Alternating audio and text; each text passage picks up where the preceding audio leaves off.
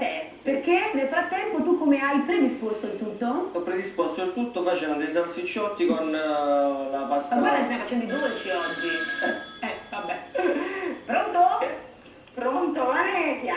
Buongiorno! Buongiorno, buongiorno, sei bravissima. Io sono una fortunatissima grazie a voi. In che oggi senso? Chiamo, eh, oggi chiamo per Antonio. Senti Valeria, ma come facciamo quando finisce la trasmissione la mattina senza di te? eh, Aspetta, ma in tutto questo non, non non ti ho neanche chiesto come ti chiami. Elvira da Napoli. Elvira da La Napoli. fortunata che ha vinto il premio importante. Ah, adesso mi ricordo, Elvira.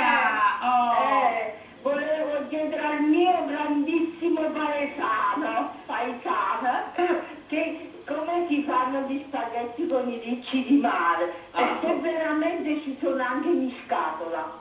Ecco. Eh, no, no, no. Allora, Allora, lo spaghetto ai ricci di mare, è vero, è un- una cosa molto banale, molto semplice. L'importante è avere un prodotto extra fresco, che ad esempio in pescheria adesso stanno vendendo i barattolini con i ricci di mare, però eh, puliti da loro, e non sono quelli scatola con marchio, perché quelli io non li prendili perché a me non piacciono tanto.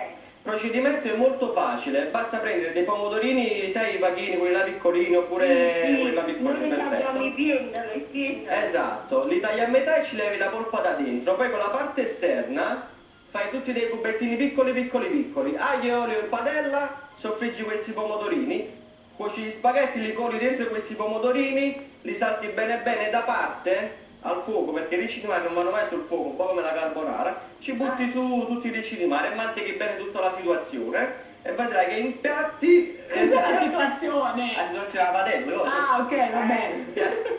manteghi bene il tutto e vai a impiattare. L'importante è andare lontano dal fuoco quando si cucinano i ricci di mare, perché mol- molte persone sai che fanno? Fanno la pasta, la mettono nella scola così, la saltano e poi ci buttano i ricci di mare col fuoco acceso sotto.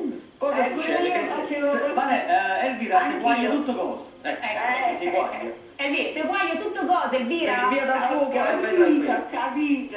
Ecco. Va bene, sei grande, Antonio. Grazie, sei Elvira.